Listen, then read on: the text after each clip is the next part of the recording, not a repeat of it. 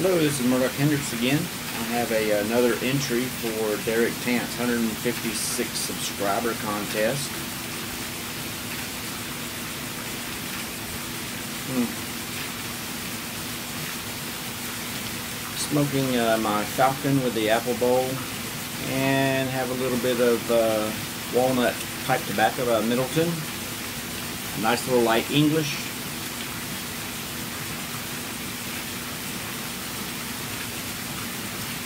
I was thinking about uh, if this world was to come to an end, maybe an asteroid size of New York City hit us, planet killer.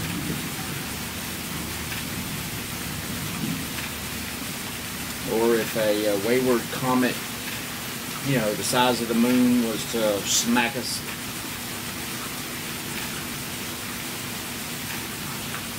I think I would like to hear Dust in the Wind by Kansas.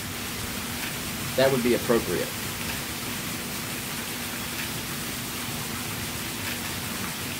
Derek, congratulations on your uh, subscribers.